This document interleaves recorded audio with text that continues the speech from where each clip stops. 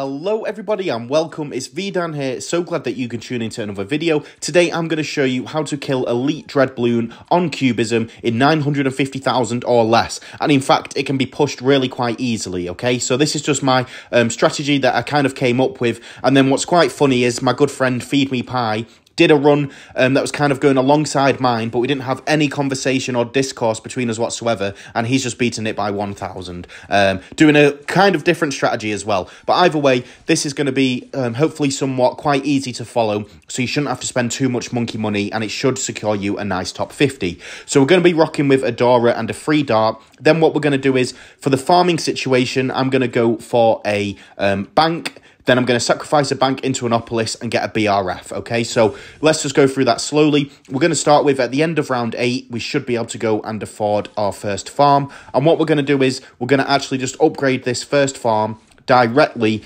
to 230, okay? So all we're going to do with this farm that we put down is just put it to 230. Get the top path first, then get the middle two, and then by around round 25 or something um, is when you will be able to get it to a bank, okay? So you should be able to defend perfectly with Adora here. Obviously, she's going to be extremely strong, and um, I always like using Adora when we can. Never underestimate the power of Adora when she synergizes with temples, because it's just unbelievable.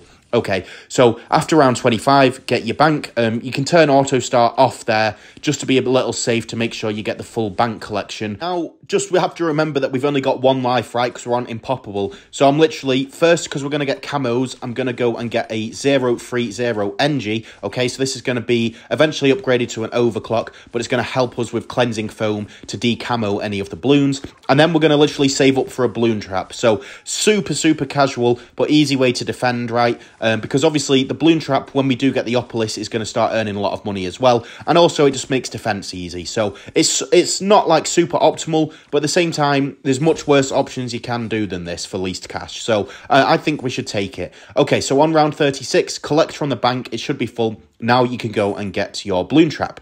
Then what we're going to do is we're going to place down a triple discount villages and literally just save until we can start getting Opolis. But that's only going to happen actually during the tier 1 kill itself. Now, I didn't do really any balloon trap micro whatsoever. As you can see, I'm on double speed. And even with this half hazard approach, we're going to have more than enough eco to deal with. So, I mean, and to be honest, this getting balloon trap thing could be entirely skipped. You could probably get some cheap defense instead, um, miss out balloon trap, and just get an Opolis earlier because you'll see for tier five we have like over two hundred thousand spare. Okay, so this is not essential. It's already something that could immediately save you, you know, like um five thousand. But on a side note, whilst we're doing the tedious stuff of setting up the um, free double discount villages, just want to say thank you guys so much for a thousand subscribers. Honestly, it was super, super amazing to see um, such amazing support from the last couple of videos. And I know it's been a while, but me and Vanshika did just get married. So thank you for all the congratulations statements on that. Uh, do really all appreciate it. So we're just going to keep on going. Had a little break. Um, we did get a little sick during the time as well. I think whenever it's October, I always get a little bit of freshers flu from being based around university, so it just wipes us out. But we're on good form today. Okay, so now it's the end of round 39 what we're going to do is we're just going to literally start round 40 with no defence. There's no need to worry here whatsoever. I mean, he moves that slow. It's almost a little annoying in some circumstances. Okay, so what we're going to do is we're going to go and buy Monkey Town and then Monkey City using our cash that's just going to be generated from the um, standard round income and the balloon trap. I'm going to let the bank keep um, collecting. So I believe after this next balloon trap collection, we should be able to go and afford the Monkey City. And now what we want to do is we want 5,000, okay? So we need to have 5,000 between the cash we have um, standing and the cash in the bank. Once you've got that, you know, it's very simple maths. Um, then you can go and get your Monkeyopolis straight away. And now I'm going to go and place a triple discount village again, okay? That's going to serve as purpose to build our temple around. Now, I know it seems annoying with all these triple discounts, but trust me, whenever you get a super monkey, you always want a triple discount on um, least cash at least Also, if you do have any spare discount villages left at the end, there's no harm in that because we can just sacrifice them to Adora, which is a big part of tier 5. But of course, the placements here are not optimized because as you saw there, I did have to buy bigger radius on one of the villages because I literally just lined them up in a straight line just to make my life easy. But now we've got a super down, what I'm going to go and do is go and place down a banana farm. So this is going to eventually become a BRF. And in the meantime, we can just go and get it to 320, okay? Make sure it's in range of triple discount. Now, round 45 can be a little bit of the scarier ones. So make sure you use Adora's ability on round 45 just in case, okay? And then I think you're going to be um, pretty pretty much good on this. So I do apologise as well. This will be a bit of a longer video, but for the future tiers when there's not as much like kind of um particular setup to do, then I'll just kind of fast forward it a bit. And if you want to put it on slow motion, you can do um to see exactly what goes on. But as always, take these as kind of a bit of inspiration for your own runs, um because like I said, I just literally did this as just a kind of on the wing, just having a little feel for what kind of strategies there are. But okay enough of the rambling. So now what I'm going to do is I'm going to literally place down a 230 glue and try and get it to 240 as soon as possible. Okay, so we're going to get our glue strike. Just, you know, keep a little bit of your um, mind occupied on the fact it's least cash. So you're going to want to make sure the glue strike's in triple discounts and all that kind of stuff. And now we can start upgrading our super monkey and just basically use the glue strike ability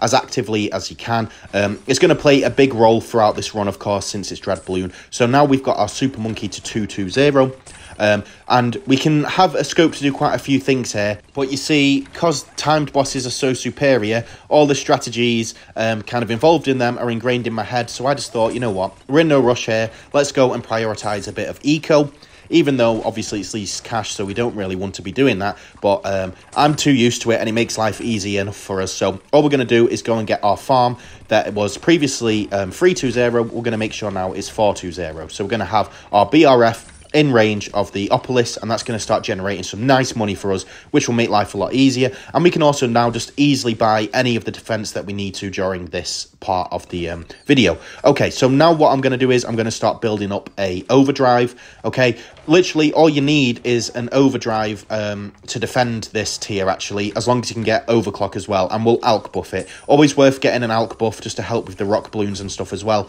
Um, so now we're just going to get an alch buff, and now we can proceed to save up again if we want to go and get overclock. So you can see the kind of um, timed bosses in me that's we're getting BRF and overclock as soon as possible. But honestly, them kind of ideas do help because it is all about trying to use as little as possible. And for the money, overclock and BRF and Opolis are all extremely good value for money. So we're not actually being too stupid here. Okay, so now we've got overclock up. We're going to keep perpetually using the um, glue strike ability. And now, luckily, we're going to be earning some decent money. So we can just basically start shredding the tiers. We're going to get the alchemist to um, stronger stimulant now. And now this is the bit that can be a little bit scary when it's immune to magic.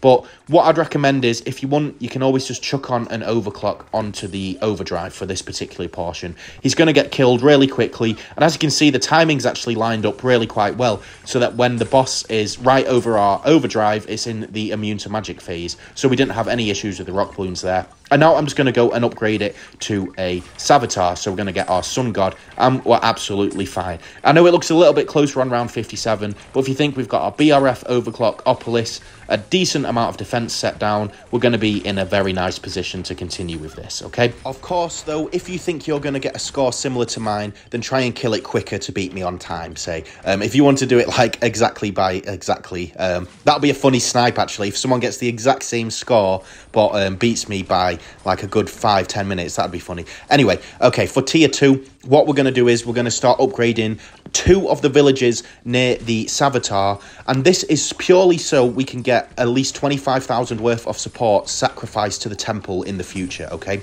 All we can do with the overclock, by the way, is I'm putting it on the BRF for now. I know we've got enough defense for a good portion of this time, so let's just go and make some eco.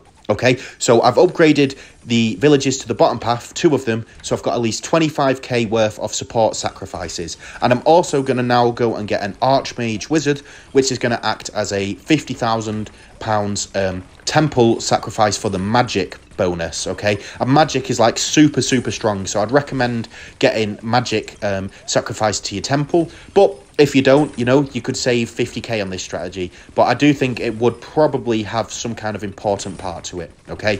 So literally just keep overclocking the BRF, and all we're going to do is save up for Archmage. That's also going to add a nice bit of little defense for us as well to make life easy. So I'm basically just setting up everything that we need to get the temple, because then all it's going to be a case of doing is literally just saving for the temple. So it's making life easy. The last thing that I want to do, we're going to get some primary sacrifice to it as well. About 20, 25,000. That adds a little bit of bonuses to the temple. So of course that's going to come from the tack zone, which I do think is probably very smart to do for tier 2 because the rock balloons in the magic immunity phase would probably cause a lot of trouble. So Obviously, um, I think it's wise to go and get Tack Zone, and we will indeed do that. We can also get an Ice Monkey down as well, actually. Um, that would just help a little bit. But yeah, okay, so what I'm going to do is now, um, because to, to kind of save your ears from hearing me rambling too long, I'm going to kind of um, leave you during the tier kills and then interject with any comments along the way, okay? And I will fast forward the tier kills because, in my opinion, they're quite straightforward. It's not like the least tiers boss where we had to be really, really kind of focused on making sure to get it right. So all I've done, I've put down an ice, we've got tack zone, and now we can literally just begin to start saving, okay? So I will um, interject if there's any kind of issues. And one more thing, I'm going to set up a support Chinook, try and get that in a double or triple discount range. This is literally going to be so useful for tier 5 because we can obviously move down or move around a permabrew, for example, get everything permabrewed. We can move around a tack zone, which we will indeed do. And also we can generate a little bit of extra more money and do a tiny bit of stalling. Although infinite stalling doesn't exist anymore, it's a useful tower to have for its price. Um, but yeah, in the meantime, all you need to do is literally just keep your eyes focused on the game and you should absolutely shred it. If things get a little bit scary, as it's looking here, you can always overclock your tack zone as well to be super safe during the immune to magic phase. But if you followed everything like me, hopefully Dreadbloon's in a good position where um, the immune to magic phase will not last long.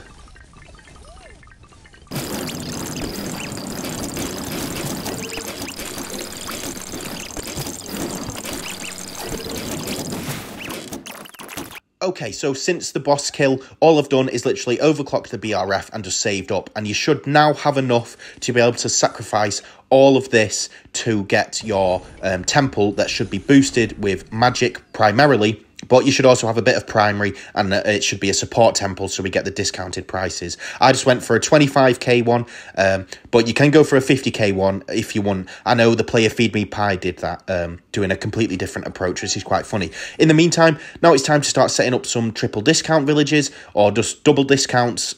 I keep saying, when I say triple discount, by the way, I mean, free double discount villages. So I know that's a little bit confusing. Um, but the reason I want to do this is so whenever I'm putting kind of sun gods down, that they're always going to be in a triple discount. Okay. So first thing I'm going to place is a sun god, of course. And then all it's a case of doing now for the entirety of the video, which is a little bit tedious, I must admit, it's going to be literally building up Savatar spam and Tack Zone spam. And that's literally going to be pretty much the bulk of it. Obviously, we'll get like Cripple MOAB down and Homeland um, and another Glue Strike down, for example, and Super Brittle, so we get the debuffs and buffs.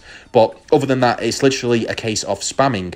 The one thing that I will say is, is where I place the towers, you may find it beneficial because after a test run I did before where I'd got a score just over a million, it kind of gave me a better insight into where to place the towers to coincide with certain immunity phases. So, for example, I know that I want the tacks to primarily dominate the kind of middle and to the top right side of the track because that's when it's going to go into the magic immunity phase. So, in the meantime, I can literally start building Savatars on the left hand side, like left, middle, left, bottom. Um, and also, don't be worried if they are a bit far down, as long as they're in range of a temple, remember we're going to be sacrificing stuff to Adora, so their range is just going to go absolutely crazy, okay? And so since I've got a couple of Savatars down, now all I'm going to do is make sure to go and get a 502 village down that will obviously save us a lot of money for when we're building an overdrive and tack zone spam. Okay, so we're thinking about money. We're going to get the top path village. We're going to get it in range of triple discount. And we're going to make sure um, that to place this down first before we start placing down any of our tacks. So we can just try and utilize as many discounts as we can get on our towers that we're placing down. Okay, and then from here, gets a little bit tedious, we're going to basically just save and save and then just start spamming all the towers down, okay? And that's literally going to be it for the rest of the video. So it will leave you a lot of kind of freedom for what you want to do in your approach. But the idea, Savatars and Magic primarily towards a bit of the left hand side and then a lot of tacks on the right hand side and then everything should kind of work out nicely. There will be a few points though that i will mention on tier 5 for example i needed to stall the rounds a little bit and i did a um, trial and error approach that somewhat worked. Now, just a word of caution when you get cripple. Um, as Bolter has mentioned in a previous video of mine when I've done Dreadbloon, I accidentally set him on strong. Don't set the cripple on strong, it won't hit the boss, okay? Set him on first, then you're going to be sorted, okay? So get the cripple and um, make sure, at least for the main part of it, he's on first. Obviously, you can change it to targeting however you want, depending on the circumstances, but first over strong is usually the wiser option, okay? And what I'd recommend to do now is start getting a lovely overdrive spam going, okay? So um, I will go and fast forward this part, but um, if you need to see anything in slow motion, then feel free to slow down the video. Also, I do need to add some music, I think. So if anyone's got any ideas, let me know. Because obviously, I don't want it just to be hearing um, the game volume or the game audio, sorry, in like four times speed because I find it actually quite irritating, as I'm sure some of you guys do. So if you've got any music suggestions, let me know. Um, I'd be happy to hear them.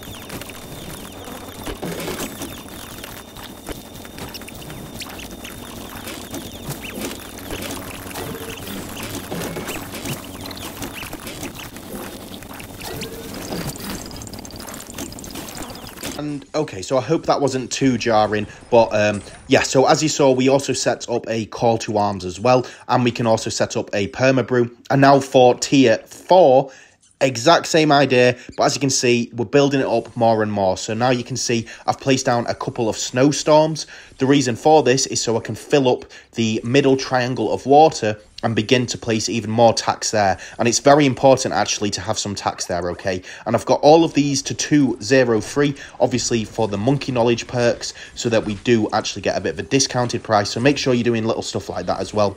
And then for tier 4, same idea. Um, there's not much to it. Again, we're just building up the spam.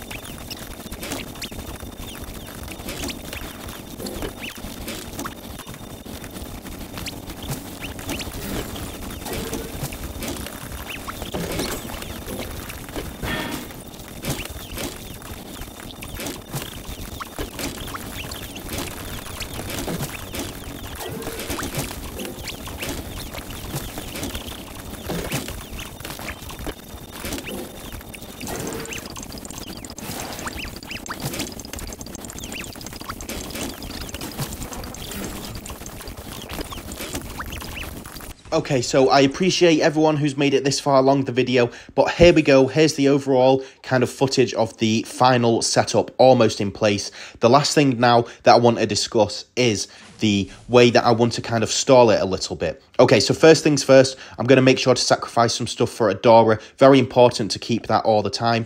Also, make sure that you've got Homeland fully ready. If you don't have Homeland fully ready, that'll make things harder. But we have got two um, MOAB push, MOAB shoves, I believe they're called, sorry. Then I've got two 202 Ice Monkeys at the start. And now, the important thing as well, which I find very useful, and it also helps a lot in normal too. If you can see next to my cripple, we have a 502 sniper as well, so a Maim MOAB, but this one is sat on last, or set on last, sorry, okay? It set on last can help stall really quite well. And I'd recommend anyone, if you've not done normal yet, to go and use a 402 sniper set on last. That will help stall rounds quite a lot. It's not going to be as helpful here because we've got so much range going on, but it is a little bit of a help.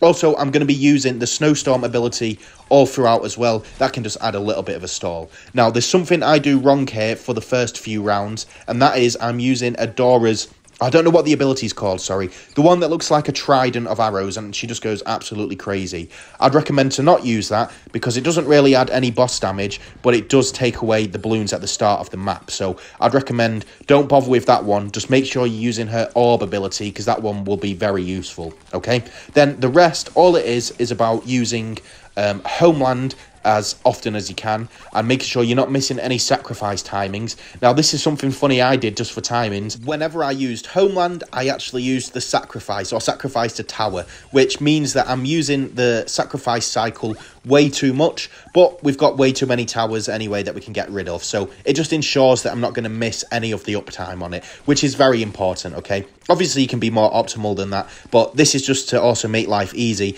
And I think sometimes with strategies like this, it's better to go for a bit of the safer and cheaper, or I should say cheaper, but it's more expensive option, I should say, um, the more relaxed approach, just to save your monkey money bank accounts, okay? Because obviously you can counter many issues.